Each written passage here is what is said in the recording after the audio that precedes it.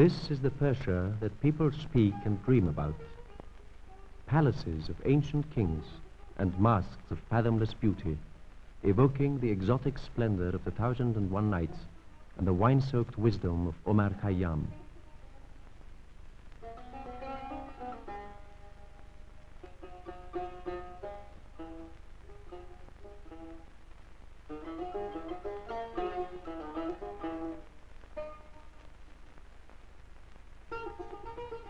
Less is known about modern Persia, legacy of Reza Shah the Great, whose tomb lies some five miles south of Tehran.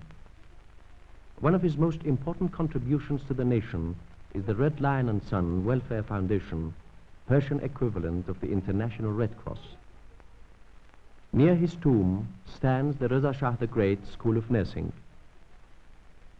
Each year, 40 nurses graduate from this school to work in different departments of the organization and state hospitals.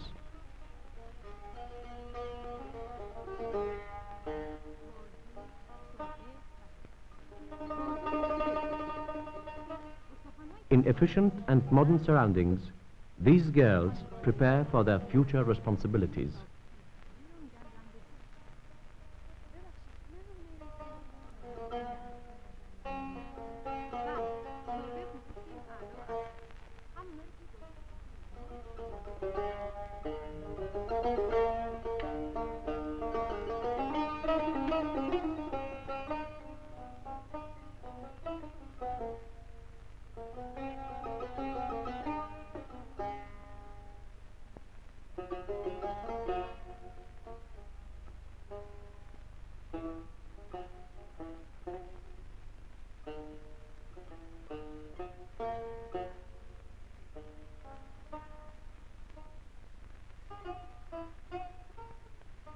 An example of the care given to orphans can be seen at the Tehran Home for Children.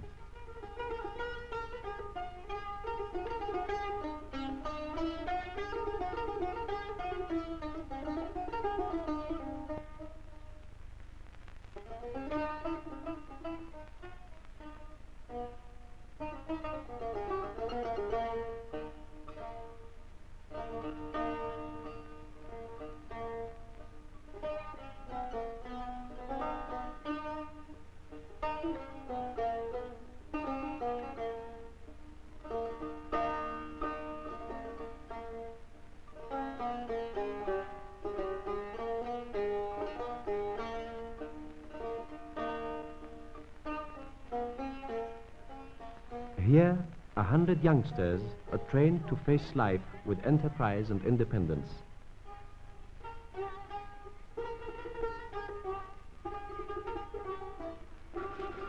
Special attention is given to vocational training.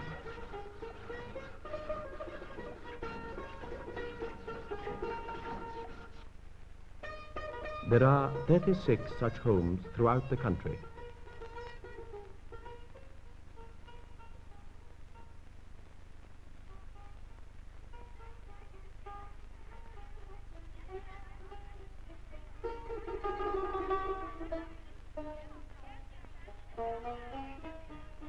Not far from here, a larger vocational training center accommodates 400 boys. After an initial period of general education, these boys specialize in various crafts of their own choice and become electricians, mechanics, ironworkers, carpenters, and so forth.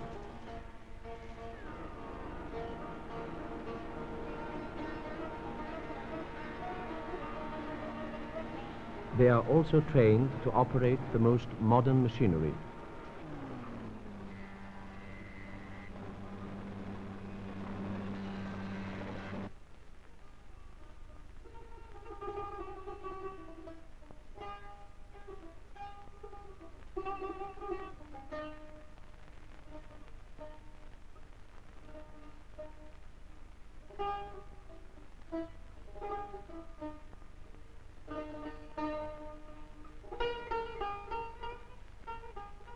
With 123 departments administering nearly 300 charitable institutions, the Red Lion and Sun provides a wide range of medical services.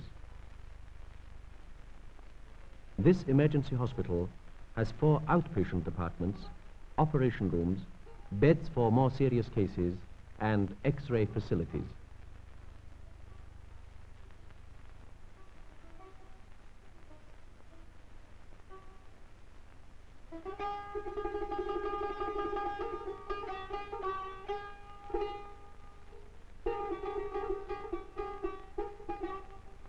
The Cancer Hospital, the largest of its kind in Persia, is supplied with the latest equipment for research and treatment of cancer.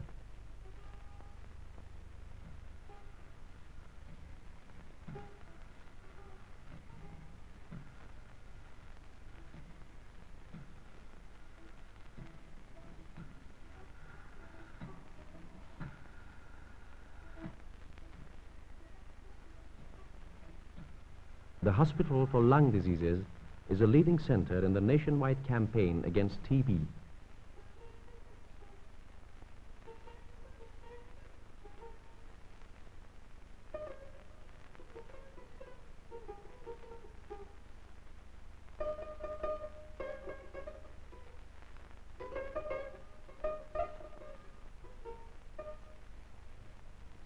Each day, hundreds of people are x-rayed and examined, and more than 500 are vaccinated against the disease.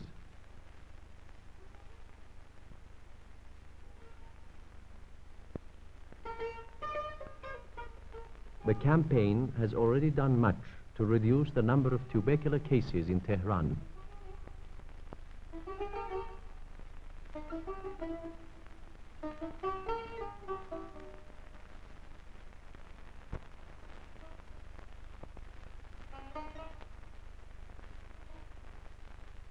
Cities and towns throughout the country and even some villages are linked together by a vast communication network created by the Red Lion and Sun.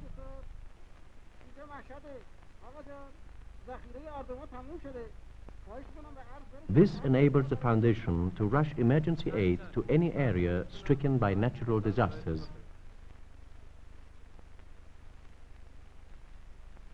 First aid and medical supplies, food, clothing and tents are kept in constant readiness to be shipped by air whenever needed with a minimum delay.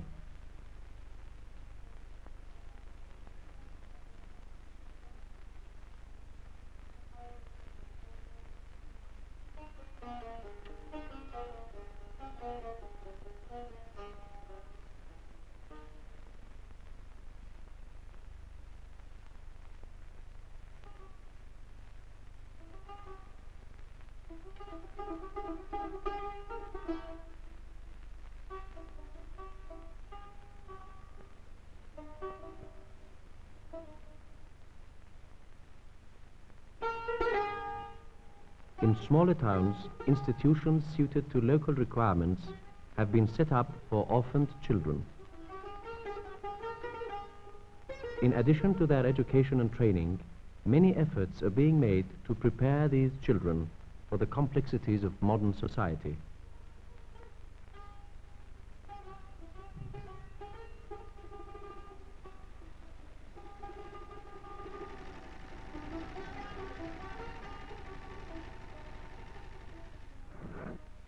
In these workshops, the machine has not yet replaced the human hand.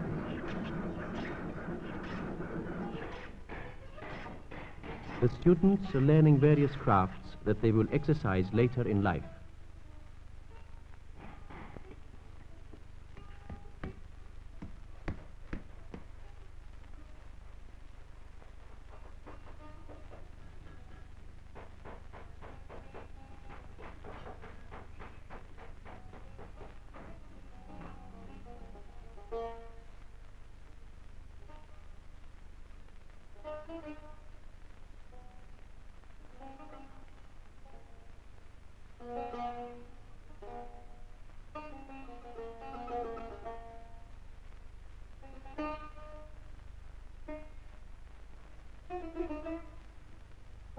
provincial schools of nursing help to raise general sanitary standards.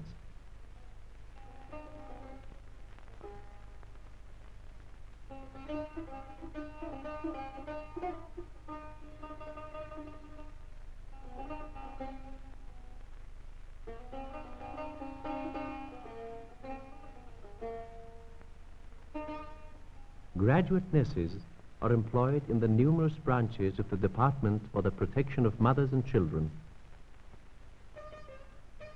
These branches are all equipped with operation rooms and dispensaries. Medicine and powdered milk are distributed free of charge to needy mothers.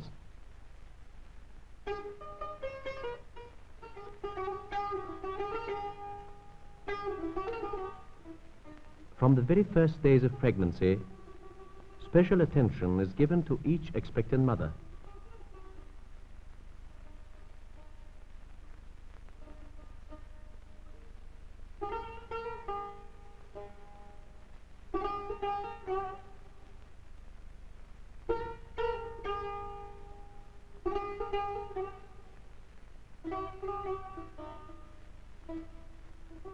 Nearly 16,000 infants are accommodated in the various nurseries of this department.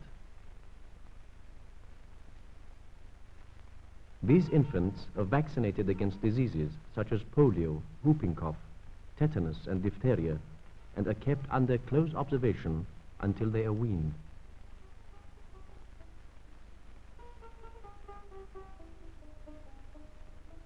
The work of the Red Lion and Sun extends to the remotest tribal areas and villages. Extensive efforts are being made so that everyone may benefit from the services it provides. These were but a few examples. The long-term objective of the Red Lion and Sun is to abolish disease, poverty and hunger, helping to create the basis of a better life for a nation which has a proud and glorious past.